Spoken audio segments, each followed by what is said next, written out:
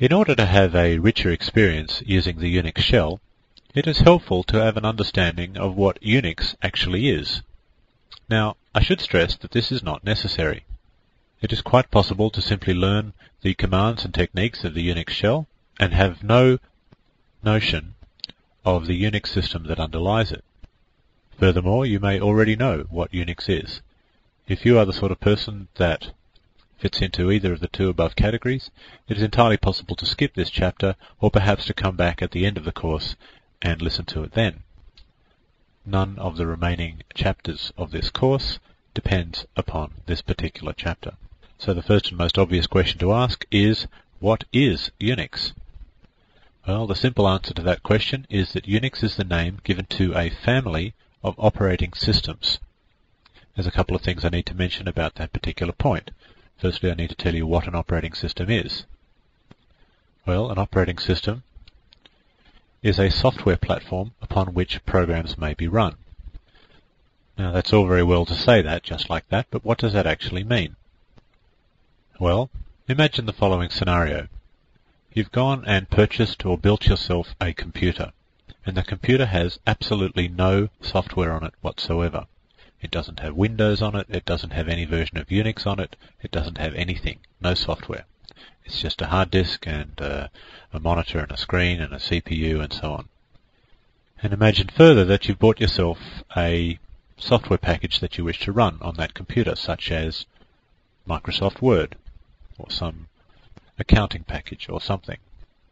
And here's the question. Is it possible to run that particular package on that raw computer? Well, the answer is no. Not without something else on that computer. In other words, an operating system. Now, if you don't believe that, imagine how you would go about getting that software package onto that raw computer. You might think to yourself, well, I'd just stick the disk in. And then I'd click on the appropriate uh, setup icon or I'd type in the appropriate setup command. Fair enough. But what would be presenting you with an icon to click on? What would be presenting you with a command line onto which you could type this particular command to set up your word processor? Well, the answer is there actually has to be some software existing on the computer already in order that you can then install and run the software package that you've just bought.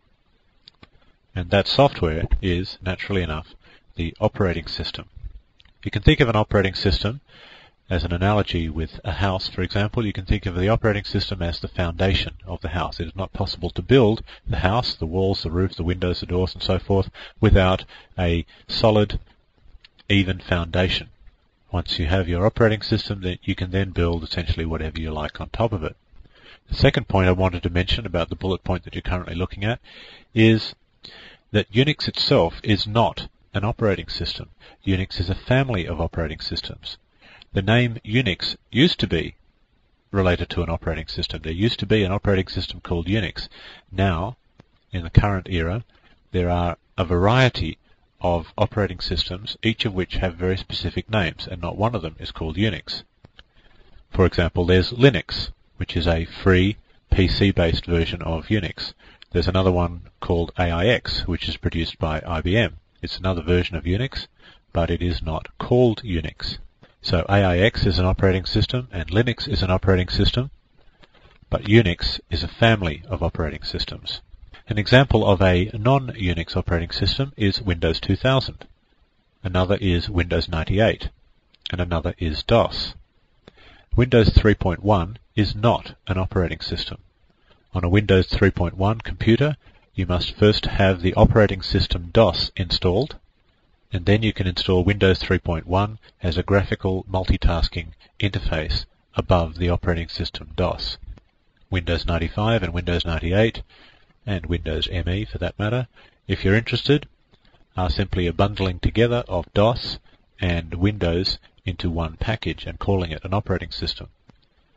However, Windows NT and Windows 2000 and Windows XP are all true operating systems.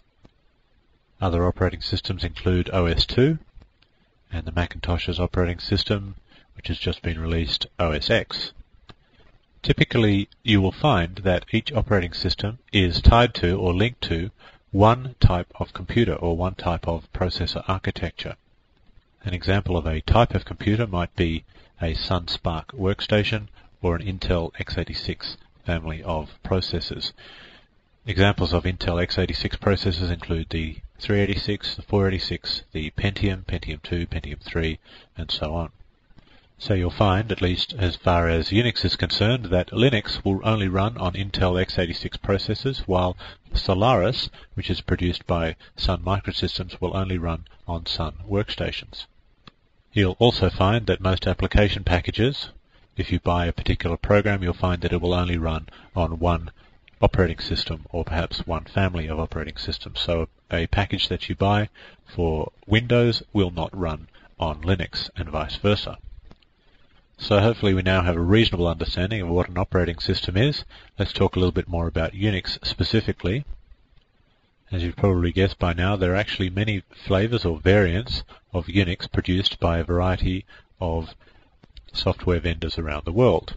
Some of these are free, some of these are sold, some of these are quite expensive. Most run on particular types of computer architecture. And most are incompatible with each other, in the sense that if you get a program designed to run on one, it may not run on other versions of Unix. For example, if I was to take, say, the Vi text editor from Linux and take it to a Sun workstation and put it, copy it onto the hard disk there and try and run it, I might find that I could not run it. However, if I took the original programming source code for that program and took that to the Sun workstation and compiled it, I would find a functionally identical version of Vi that would run on that particular computer. However, that is a technical process and most end users would not be interested in doing that at all. We'll now take a brief look at Unix history. It will help you to understand the relationship between the various versions of Unix.